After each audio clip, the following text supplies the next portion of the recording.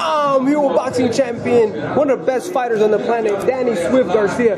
First of all, I talked to your dad, and he told me I'm so happy for Danny because he worked so hard at it. Yeah. Do you realize that two million people watch your fight and you keep winning? What's it like to be Danny Garcia? now? Oh man, this is the, I'm blessed, man. I'm just happy to be me right now.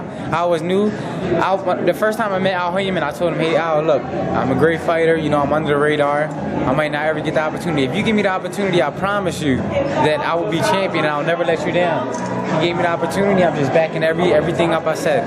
Your dad was kicking it with that before, peace, harmony. Yeah. What do you say about all the promotion? That was tense though. That was Yeah, it real. was tense because you know anytime you see look anytime you fight somebody it's, it's personal because you go in the ring you could die in the ring you could get hurt so it doesn't matter what you say before the fight because you're gonna fight anyway you understand it don't matter what you say before the fight because at the end of the day it don't matter to fight anyway and after the fight you know They, they want to do it by the. After the after the fight, you know, I was the winner.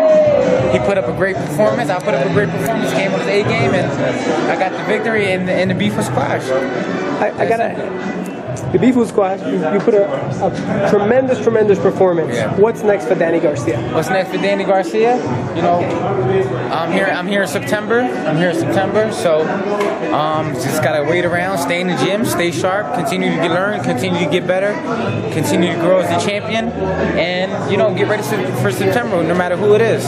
If you fight Lucas Matthysse, assuming that Lucas Matthysse passes uh, Lamont Peterson, which is a very tough fight, Yes, what sir. would that mean? You against Lucas? He hits hard. He's what knockout ratio insane, except Yeah. for the couple losses out here, Yeah. which were very close fights. Yeah.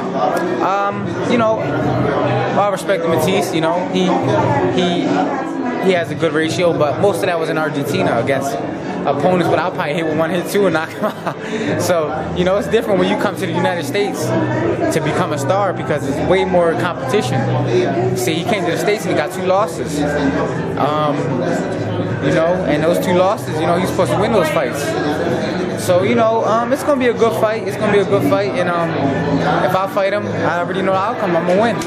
One thing about you, no matter the storm that's around you, you Yeah. always keep it 70 degrees. I've never seen you lose your cool. You Nah, I always- never. I, I just see. My nickname should have been the chameleon, cause all I do, I adapt.